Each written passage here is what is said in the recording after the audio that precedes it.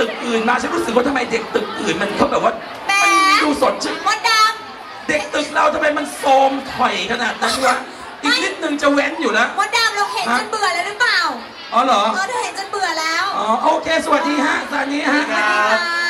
โอเคไม่ได้เจอน้องช่วยนี้เจอกันบ่อย แต่ละคนฮะได้มีโอกาสลงพื้นที่กันบ้างหรือยังฮะผมกำลังจะไปที่พฤหัสหน้าครับพฤหัสนี้ครับผม ค่ะ น้องอะไป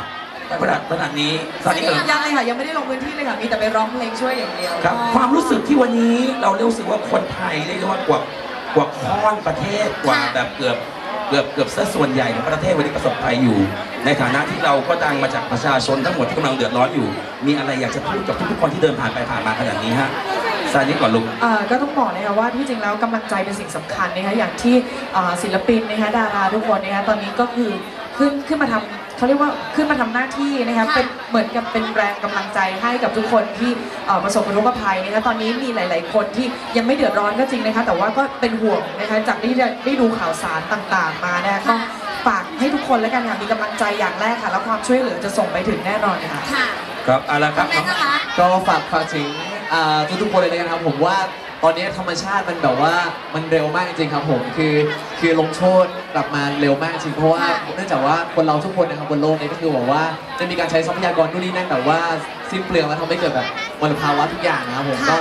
ผมคิดว่าหลังจากเนี้ยคือหลังจากที่เหตุการณ์นี้คลี่คลายแล้วเนี่ยเราก็ต้องช่วยกันแบบว่า แบบว่ากลับไปซ่อมแซมอีกใช่ไหมครับผมต้องลงระดมทุนต้องช่วยกันเหลือกันอีกแล้วก็สุดท้ายเนี่ยต้องพยายามแล้วต้องช่วยกันรักษาธรรมชาตินะครับสำคัญมาก ครับสำหรับทีนะครับก็ขอบพระคุณนะครับคนไทยทุกๆคนที่วันนี้โอ้โหหนาแน่นมาก และเชื่อเลยว่า ไม่ว่าจะเป็น